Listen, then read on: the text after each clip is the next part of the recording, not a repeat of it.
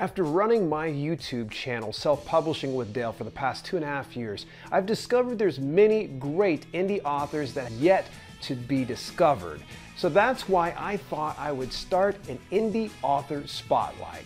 So it's with great pleasure that I introduce to you someone that I am a personal fan of and one of my favorites, and I believe that you will enjoy him too. So make sure that you stick around.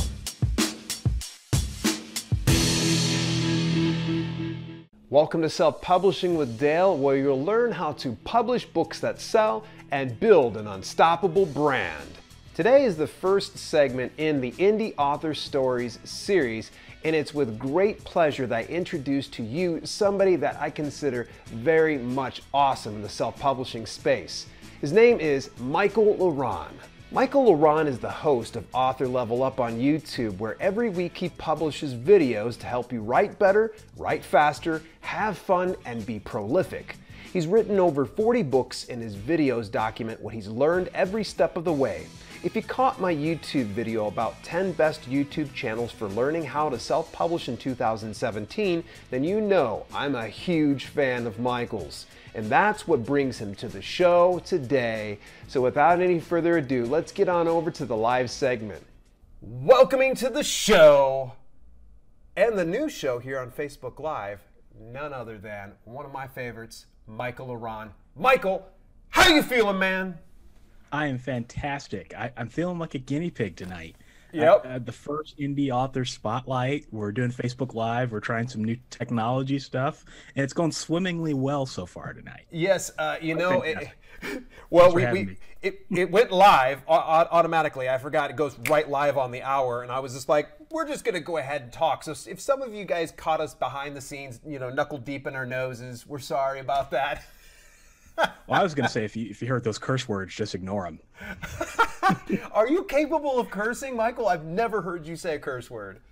I, I occasionally, you know, I stub my toe, or you know, I'll, I'll I'll, I'll pick the wrong tea, or I'll oversteep my tea, those sorts of things. Then you'll you'll hear me curse. But generally, yeah. I try to keep it G rated.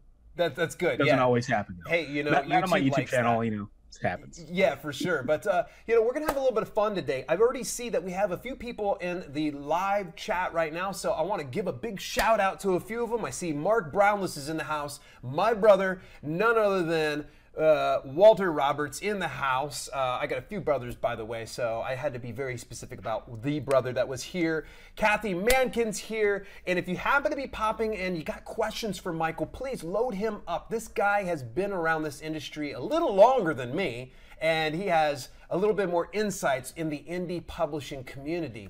So, are you ready for this, Michael? I've got a few questions, and hopefully, you had a chance to kind of breeze through those. Yes, I am ready, and welcome to all the viewers. Glad to have all you guys with us, and let's let's get, let's get to it. Dude, let's you're so it. good at this. You're like a pro, man. I don't know. I, I try. Yeah. You're, you're, you're, way more pro than I am. Oh yeah, you, we were talking about the whole Inception thing here in Facebook, where it's just like Zooms inside Slobs is inside Facebook. So uh, that was our, our little inside chat. But enough about that. Tell us a little bit about your background in writing. Sure. So I got started just like everyone probably watching this and, and listening to this got started is I was a kid, you know, writing on construction paper as a kid. you know, I, I wrote my parents out of house and home is what I like to say. And, um, you know, I always wanted to be a writer. You know, I, I think a lot of people can identify with that. And I had done it, did it a little bit in middle school, did it a little bit in high school and got to college and I, I, decided that I wanted to go down the literary fiction route. I wanted to write the most beautiful sentences known to mankind. I wanted to spend hours and hours on my manuscripts and get to the point where I was 65 years old and be able to retire because I wrote that one best-selling novel that everyone you know acclaimed me for. And lo and behold, that didn't work out so well. No, no publisher wanted to look at my stuff. You know, I, I, I, wrote manuscripts. Agents wouldn't touch me publishers wouldn't touch me, lit mags wouldn't touch me, and so I got discouraged. Mm-hmm. You know, I, I mean, it, it, it's it's the it's the natural thing, right? I mean, you write tons and tons and tons, and no one you're just not seeing any benefit from it, and so I, I kind of decided to kind of give up. And in 2012, my life changed forever. So I was on a nice dinner with my wife, and I felt ill later that night with what I thought was food poisoning lo and behold, it was food poisoning, but I didn't leave the hospital for a month. So when I was in the hospital, I picked up some, uh, picked up an infection that basically could have been life threatening for me. And so I remember very vividly being on my hospital bed with a IV in my arm. I'm doped up on morphine and I'm having hallucinations, the funniest hallucinations you'll ever think of. And I, I just thinking, what am I doing with my life? You know, what, what is it that, that drives me?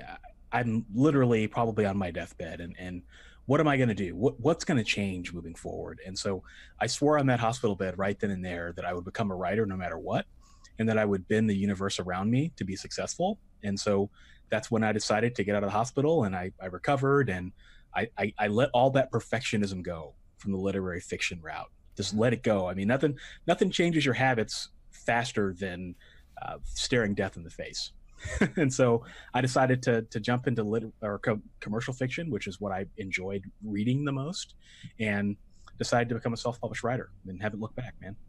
This is so funny. I you literally covered the very next question of you know why did you decide to go into independent when publishing books, and this is so cool. So um, I, I think it's probably good that I bring up. Do you think, and see, I see a lot of people that want to go to the traditional publishing route, and the reason they always say is because if you do indie publishing or self publishing, that it's indicated that's an inferior product versus something in traditional publishing. What's your stance on that? Do you think that your book has suffered, or your books, I should say, since you have over 40 of them, uh, do you think they have suffered from being indie published versus if they were traditionally published? Not at all.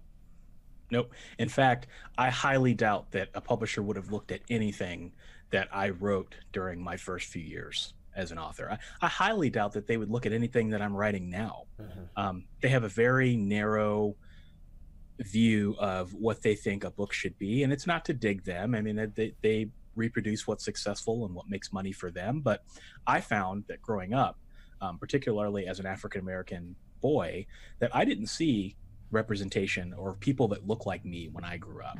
You know, when I was reading books growing up, and I still don't think that's really the case with a lot of traditional publishers. And so, um, what I would have loved to have seen is someone who looked like me writing books on a regular basis with characters that look like me, with backgrounds that were similar to mine yeah. and you just don't see that still today in traditional publishing and so i love self-publishing because it gives me the freedom to write whatever i want to write and whenever i want to write it on my own terms and let the market decide on you know who's who's going to be successful and what books they want to buy that's really cool and you've been hanging around since 2012 then that's uh, yep. there's a good reason why you have over 40 books then yeah, yeah, yeah. I published my first book in 2014, and um, I decided, you know, I'm just gonna gonna go all into this, and I'm gonna figure out how to be as efficient as possible, figure out how to save as much time as possible, and you know, I've managed to do all this, man, with with a full time job, um, a, a, young daughter. I have a four year old daughter mm-hmm. um, who was born same year I published my first book,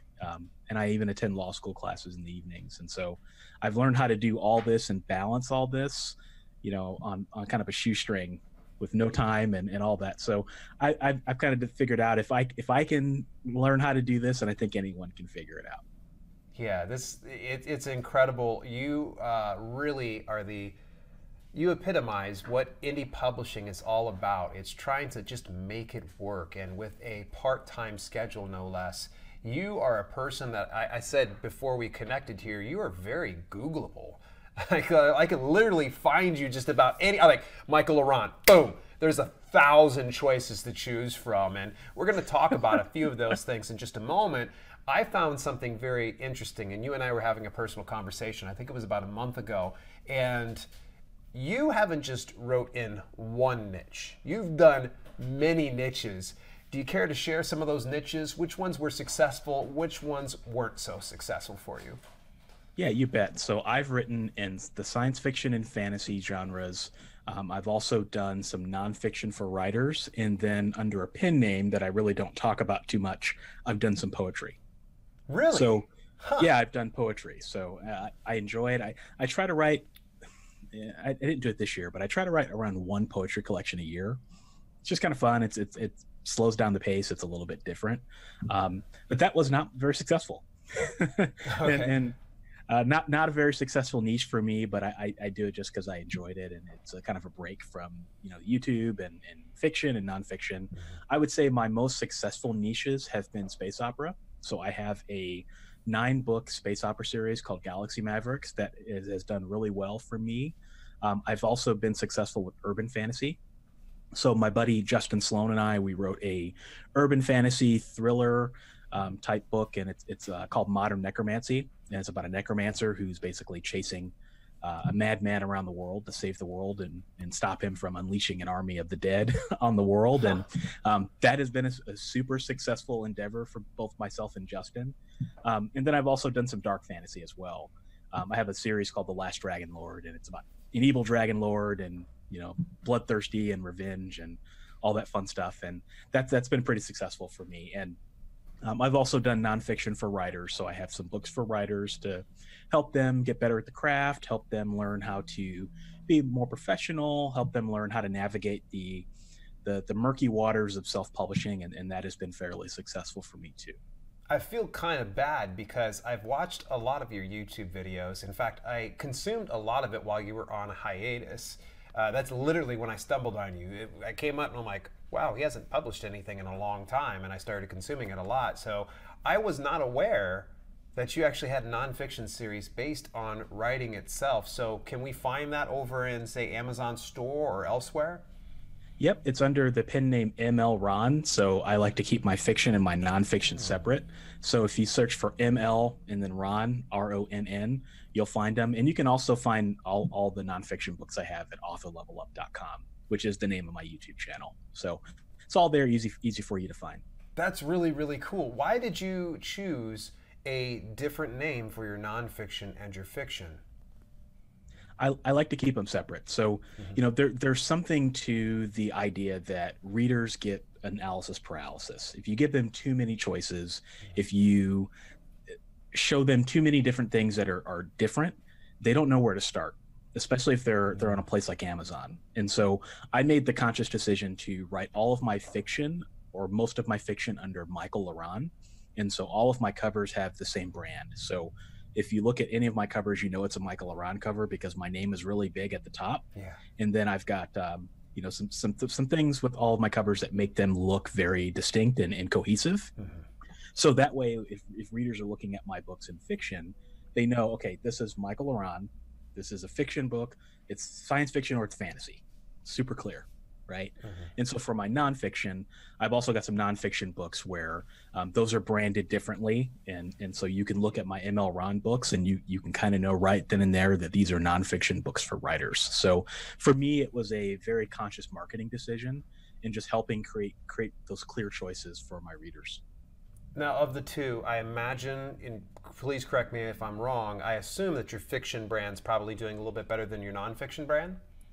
It, it's about it's about equal. Really? Okay, cool. Yeah, it's about equal. So my nonfiction, you know, I I started my YouTube channel back in 2015, mm-hmm. and um, you know, I really didn't do much with it. I, I I released a lot of videos, but for really, it was really an experiment, mm-hmm. you know. And so I went on a hiatus just because I had some things going on in my life, you know, after about a year and a half, and I just came back within the last six months, and so my YouTube channel is now starting to pick up a lot of steam.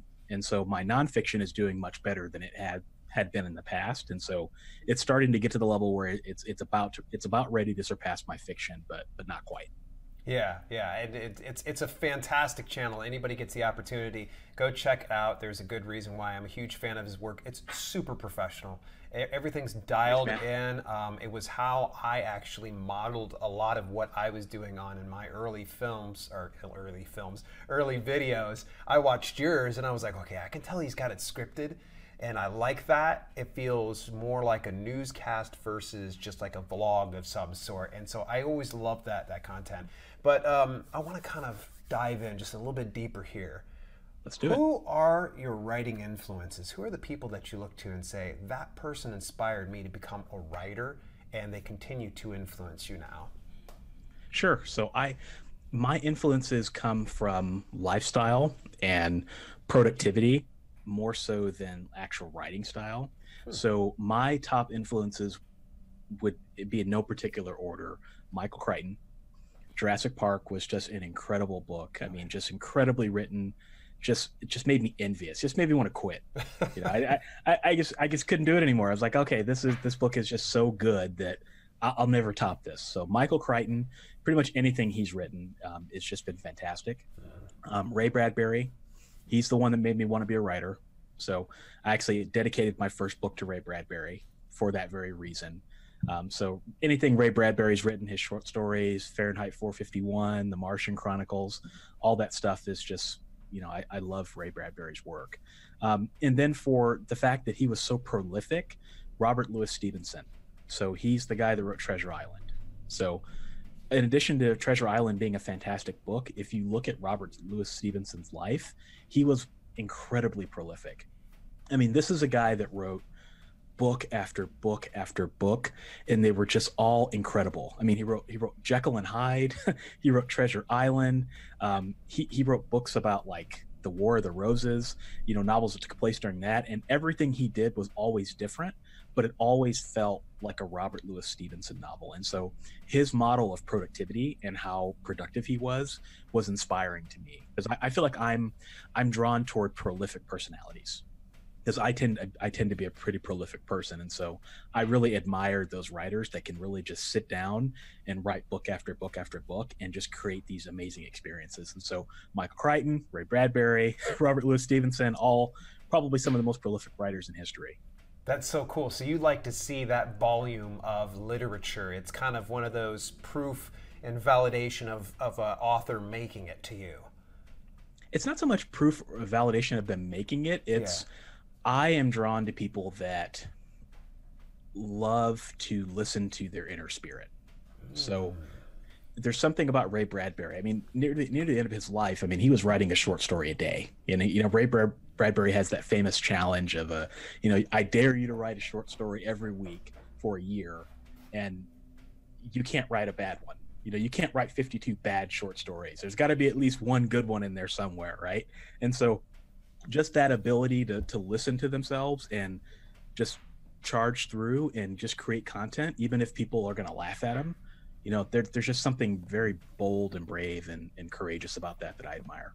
That's really cool. I, li- I like de- digging deep on that one. All right, we're going to shift gears a little bit. Let's go back to YouTube. Um, why did you start to do a YouTube channel? I know my reasons, but I need to kind of figure out, you know, you weren't just sitting around one day and were like, I like writing. I'm going to go ahead and do a YouTube channel. Yeah, it was, it was more of an experiment. So, you know, we've all heard the advice, you know, you need to be everywhere. Yeah, authors have to be everywhere. That's bogus advice, by the way. bogus advice, but I followed it, and so I was everywhere. Yeah. So right around this time was when I went all into Google Plus, and that didn't work out. Google Plus will miss you. You're going to ask me about my biggest mistake. That's probably in the top ten. Um, so Google Plus didn't go anywhere. I mean, you know, Guy Kawasaki wrote that book that everybody talked about, and everyone jumped in. That didn't work. And so I, okay, what am I going to do? What what what's going to be my social media network? Yeah. And so I was kind of looking at YouTube, and I thought, well, this is kind of a social media network, but it's also a search engine. So what if I could create a, a, a YouTube channel for writers that talked about how my process and how I do things? What would that what would that look like? And so I, I, I decided to try it on a whim. Like you'll you'll you'll learn when you hang around me. Almost everything I do is an experiment. Like I have no real. Every book I write, I have no expectations of any book that I write. I just do it because it's just something that I I want to try. And if it succeeds, awesome. I'm going to learn from that. If it doesn't, then I'm going to learn from that too, and it's going to help me with the next book. And so I was like, okay, well, what if I had this crazy idea to do a YouTube channel that where it kind of looks like the Apple commercials, where you got that real nice white background, you know, and yes, you know what would that, what would that look like? And so I did that, and I shot all those videos on my smartphone, and I would shoot three videos a week just to see what happened. Yeah, and the response was like that was like the it was like a decision I made on a whim, and it was actually probably one of the best decisions that I ever made as a writer. And I found that those tend to be the decisions that tend to be your best ones. Yep. you do you do it and you don't think about it. Yet you know you can have these other decisions where you spend all this time thinking about it. Oh, I got to This is going to be the best book launch ever. It's going to be the best best book ever. Man, people are gonna they're, they're gonna bow down and, and and just you know ship me boatloads of money. And then he said it. Sound the alarm. He cursed. did, did, did, did, I, I curse? Flop is a curse? No, you, you, you, you said shit me both both loads of money. Oh, I, I meant to say shipped. I forced you to curse. Oh well. Yeah, ex- exactly. I'm sorry. Continue. no, no. So, so, so it was a whim decision, honestly, and Yeah. I, I, I didn't think anything would come out of it. I just wanted to try it, and I found that blogging, I sucked at it. I just, it's just blogging is not my spirit animal. Yeah. Podcasting, I'd done podcasting off and on, and you know I enjoyed it, but I didn't necessarily have. I didn't want to do an interview podcast, so it just wasn't my thing. And so I was like, well, I'll try video. I'm, I'm the most introverted person on the planet, but maybe video might work. And turns out that was exactly like that was that was exactly what I needed. That's that was the best way for me to um, express myself was through video, and I would have never known. Nice, nice. So that's a long answer to your short question. No, no, and, and with a brief like interruption on my part, thinking that you're cursing, you're actually just, you know, I didn't hear it properly. I, I need to adjust my hearing aids here just a second. I'll, I'll let you believe I cursed. It's all good. nice, Maybe, maybe you'll get a maybe you'll get a curse word out of me before we're over. nice. There we go. Hey, hey, not not a problem. I don't think Facebook's going to demonetize me, so we're we're good to go. Has the YouTube channel helped you in gaining exp- exposure for your fiction and, of course, your nonfiction brands? Yeah, two words, Joanna Penn. So Ah, yes. Tell Joanna us about Joanna Penn. So Joanna Penn saw some of my YouTube videos um, a couple years ago, and so she shot me a message on Twitter and said, "Hey, I, I love your videos. I would love for you to come on, you know, my podcast and and and talk about YouTube for writers." And and after I picked myself off the floor, I was like, "Okay, awesome. Yeah, I would love to love to do this." And so I went on her show and I talked about my process of the things that I'd learned, and you know, I was very very not very far into my YouTube journey yet, but a lot of people got a lot of benefit out of it. And you know she sent so many people my way it was just unreal. And so that gained all kinds of exposure for my videos. Um, you know my for, for the first time ever i was actually making money on adsense um, and it started and it just didn't stop. And so i was like okay well what else can i do? And so i started doing more videos per week and um, and then i started to find that some of the videos that i was doing were ranking in search so i have a video called how to outline your novel 10 ways and that's my most successful video of all time Wow. I, it, it it's just it's crazy even when i was on a hiatus that video was still getting views and and, and people were emailing me asking kind of where i was and you know it, it, like i said it's things that you you do and you don't think about Yeah. that often have the biggest impact so yeah it, it- it definitely definitely elevated my exposure um, to my brand and so now now that i'm back on youtube and i'm all in on it Yeah. I'm writing nonfiction books and I'm publishing them. So, for example, I have a book coming out probably next week because my editor just emailed me just as I said that last sentence. Um, I have a book coming out next week called How to Write Your First Novel. So, Nice. people email me all the time and they ask me, How do you write a novel? And so I said, Okay, well, I'm just going to come up with a book and I'm going to write a book about how to write your first novel. And so that's coming out next week. And so that's something that I can promote on the channel and that will elevate my sales and, you know, help people that, that need that help. And yeah, YouTube has been just a phenomenal blessing for me. Nice. Yeah, it's it's really uh, I, I'm always impressed with the, the quality of content that you're you're producing all the time, and you're very cerebral about how you approach a lot of the the resources and tools that you provide on there. So that's one of the things I enjoy. I, I just enjoy nerding out about some things, you know, like you were Yes. weighing in on things like Grammarly and ProWritingAid. I, I thought Yeah. that was very fascinating. By the way, anybody gets the opportunity, we're not going to share the story here. Go over to Author Level Up. You have to find out why he went on hiatus. Michael, you can't tell him here. They got to go over to YouTube channel and actually find out why he went on hiatus.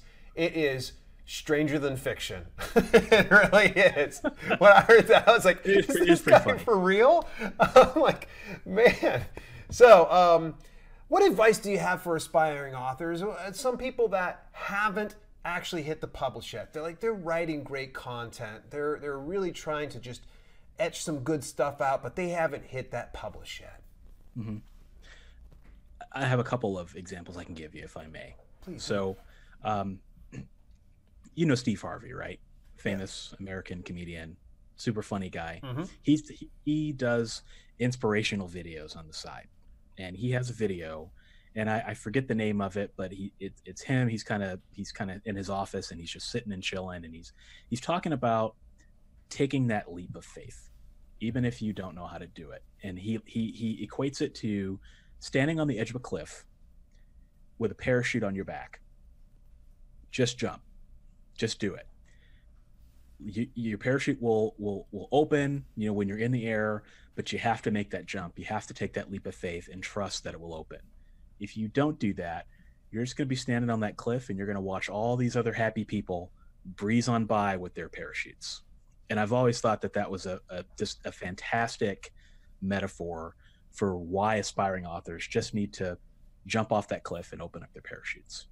So that's my first piece of advice. Yeah. Um, my second piece of advice for aspiring writers would be advice. So there's a lot of BS out there. let's just let's just be what? honest. Did you hear me? Yeah, there's a lot of BS out there, right? and there's a lot of disreputable service providers and and a lot of people that are just just they're just fleecing authors. They're just taking advantage of people, you know. And and there are other people out there who are giving really good advice freely, but that advice may not necessarily be relevant for you and your situation. So my advice is, is is to remember that there are three types of advice. There's advice that's meant for you, there's advice that's not meant for you and there's advice that you're not ready for yet and so mm. the difference between a a new writer and a more experienced writer is just developing that BS detector to look at the advice and be able to piece out the bits that work best for you. So, if I told you, Dale, that you should get all your books published um, through IngramSpark, Ingram Spark is fantastic, right? Yeah. They're a fantastic service that makes sense if book if if, if print is part of your strategy if you wanted to get into bookstores and libraries yeah. that would be a perfect example of uh, advice that's meant for you if i told you on the other hand that i think dale that you should get all of your books published in spanish because spanish is the next biggest language and you write poetry that's probably not advice that's meant for you.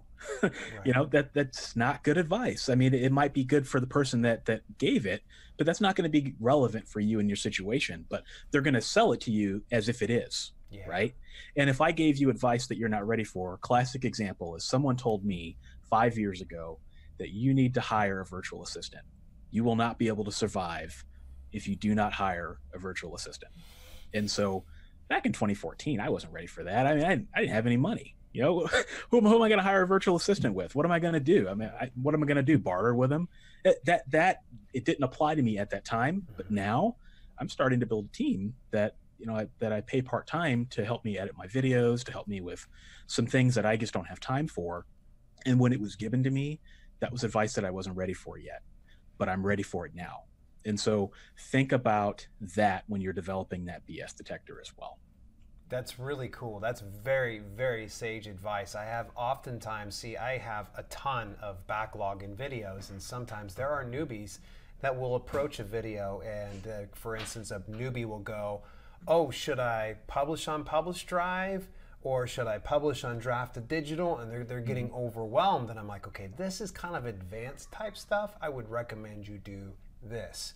Uh, so yeah, you're, you're so right. You hit the nail on the head. This is one I need to snip and put a clip up so that everybody kind of understands that not all the advice that I dispense is going to be tailor made for you. Exactly. Excellent. I love it, man. What was one of your biggest mistakes? You already kind of covered one of them, Google Plus. One of my biggest mistakes, Google Plus. I, I, would say um, you know do you want do you want an example that's relevant more to fiction writers or do you want one that's relevant more to like nonfiction? Give me a give me your best one. Just go with your gut on this. My best mistake. Okay so my best mis- my best mistake was thinking that people wanted to to engage with every single piece of content that i created so when I first started, I I had this really bright idea, Dale. So when I launched my YouTube channel, I also launched a podcast and I also was launching my blogs. And so I decided I'm going to do all of this at once. And so I had a podcast and it was called Driving with Michael. And I'm not making this up. I would go to the gym and I would put my cell phone on my dashboard of my car and I would talk about whatever was on my mind. And so I just talked about random stuff. I talked about gyms, I talked about working out, I talked about all kinds of stuff that had no relevance at all to any anyone that will want to listen to anything I had to say. In fact, I got 13 readers or 13 listeners for like all time for for one of my episodes, and so um, I, I just didn't understand that. And so what I've learned over the years um, is that you have to create that emotional connection with people like you have to tell them your why. You know simon sinek famous ted talk he always said you know people don't care about what you do until they know why you do it. And so that was my biggest mistake early on was because i thought i knew what people wanted. I thought i thought they wanted content but what they really wanted was to know, learn more about me. And I didn't give that to them. I just gave them the content and it was dry and it was stilted and I didn't have an author voice. And, you know, when I was podcasting and doing social media and all that other stuff. And so it fell flat. And so now how I've become successful is creating that emotional connection and, and showing people that um, this is who I am. This is what I stand for. This is what I believe. Here's my personality. You can see me, you can hear me, you can make your own decisions about whether you want to continue to engage with my content, but I'm always going to be real and so that has served me very well and, and it's something i didn't do very early on in my career. Wow. That's that's really good advice. And i swear to you it's almost like you were describing my exact story. So this is really good. Uh, all right. Well hey we're going to start to wrap things up. But before we tune out how can our audience get a hold of you? Well, you can find me at my website, authorlevelup.com. That's where you can find out more about my YouTube channel, get links to all my videos and, and links to all my writing books for, for nonfiction, you know, for writers and mm-hmm. writing craft and all that stuff. If you're interested in my fiction and anything that I've had to say for my fiction today, you can visit me at michaellaronn.com. You can find links to all my books and, and all the things that I'm currently up to. Wonderful, very good. Hey, uh, it's been a true pleasure to have you on here, and we broke ground. It looks like everything was going pretty good. I've noticed a few people kind of engaging. We've actually had a few viewers. And Kathy Mankin says, What does BS mean? What does that stand for, Michael? I, I, I, I, think I think it means um, bullshiatsu. I, I, think that's the uh, you can't the get term it out I've. I've heard referred to it as. I don't know. I we may have to consult a dictionary, Kathy. I don't know. Oh, oh, good one, Kathy. That was good. nice try, though. That was good. Kathy almost see it. she's like she's like reeling it in. I was like, what's she saying over here? I've been if, if you notice me looking off to the side, I'm like looking at the comments and such over here. So it's really been a fantastic time here. Uh, I want to make sure and uh, if any of you right now are watching this over in the Self Publishing Books group, and I don't see your comments, unfortunately, eh, we're in the actual Self Publishing with Dale like page here on Facebook. So, with that being said, we're going to continue this indie author uh, spotlight series, and I'm glad, Michael, that you decided to I shouldn't say decided. I kind of threw him, and it, it's like one of Michael's experiments. I threw it against the wall to see if it'd stick, and Michael was like, "Let's do it." So, like ten minutes before, he was like, "Oh, hey, let's let's try this." Yep, okay, yep. Oddly enough, I'd actually planned this probably about a couple weeks ago. I'd send it out in the emails, and I was like, "You know what? Let's try out Michael." But uh, I would love to, if you get the opportunity, uh, to bring you over to the YouTube channel, and I want to talk to you a little bit more about your experience with the Alliance of Independent Authors? Because I know that you have some experience there, so I would like to know a little bit more about that. So, do you think you'd be game for doing that? Oh, absolutely. Anytime. And it's been my pleasure, and, and I appreciate you having me on the show. Well, fantastic. Well, folks, if you enjoyed today's video content, do me a favor, hit that thumbs up right here in the Facebook and make sure that you click the little like on this page and hit the follow so you see it first and you won't miss a single Indie Author Spotlight series. And if you are an indie author, please feel free to reach out to me in the meantime. And in between time, this has been Self Publishing with Dale and my good friend Michael La Ronn over here. And we're going to peace out, folks.